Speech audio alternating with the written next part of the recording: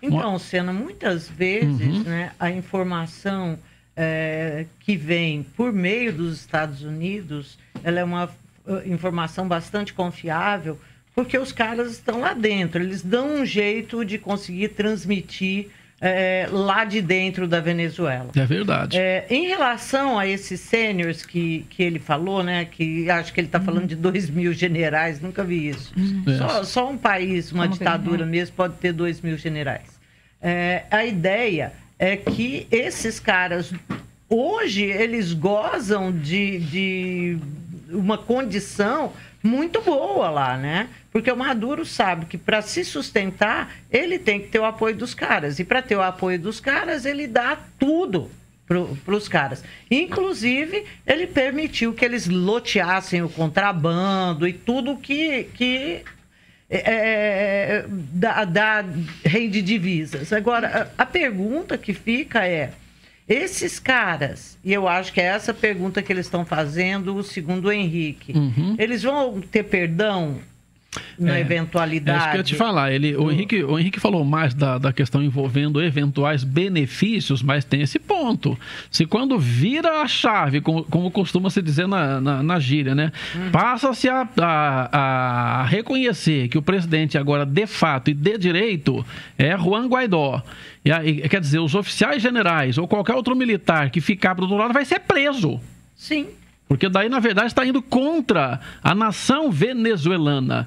Então, no, no, no, eventual cenário de rendição de Nicolás Maduro e os militares que estão orbitando sob né, a sua tutela, esse pessoal passa a ser né, pessoas que estão cometendo crime contra a pátria. Aí, o, o um, um dos cenários é prisão ou vai para o exílio ou vai preso. E então, essa é a pergunta que essa eles é a devem estar fazendo. Que vantagem é. a Maria aqui vai levar? Lembrando é. que parte desses militares participa dos esquemas de corrupção da Venezuela. Isso. E é por isso que eles mantêm, inclusive, o Maduro no poder. Agora, o que, que eu acho, Zezé?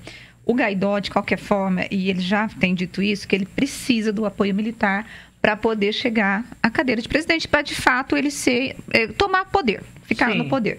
Eu acho, Sena, que ele deve negociar sim por exemplo, se esses militares o procurarem e disserem vamos ter absolvidos, eu acho que eles vão ser, vão acabar sendo atendidos em algumas das questões em troca do apoio. Sena, eu acho que você Faz precisa parte. chamar um vídeo. Preciso, estou esperando é. vocês terminarem. Vamos fechar porque... a boca, então. Vamos fechar a boca. Oh, boca é. fechada não entra mosquito. Nós temos, na verdade, outro depoimento aqui. A gente falou ao vivo com a jornalista OLB Yunis. E Nome agora gente... difícil, hein? É difícil. E a gente tem uma. A, a Alba Gonzalez que ela está no Brasil há cerca de três anos. Ela faz parte de uma ONG, né, Fraternidade Sem Fronteira, e está desenvolvendo projetos de acolhimento justamente ao povo venezuelano. Ela também tem um depoimento sobre a situação. Vamos acompanhar. Oi, meu nome é Alba Gonçalves, sou venezuelana, moro no Brasil um pouco mais de três anos, trabalho em desenvolvimento de projetos de impacto social. É, em Roraima, a gente, é, em parceria com uma organização humanitária, fez um centro de acolhimento. Temos aqui o projeto de Casa de Acolhida Fraternas. A gente tenta abrir espaço de debate para discutir a questão migratória.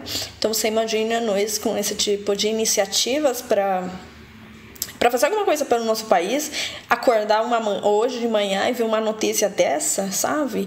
O Leopoldo Lopes, um dos principais dirigentes políticos do país, foi libertado por forças, as forças armadas que estão apoiando agora a oposição, é uma questão sem precedente no, no cenário político da agora, desses últimos 20 anos. E, gente, é esperança. É, temos medo, temos medo sim. É, mas eu tenho mais medo de que as coisas não aconteçam. Porque a gente acompanha os, os, os relatos, os depoimentos da nossa família todos os dias, sabe? A desesperação, a, a, a tristeza. É, é, é, um quilo de queijo o salário mínimo.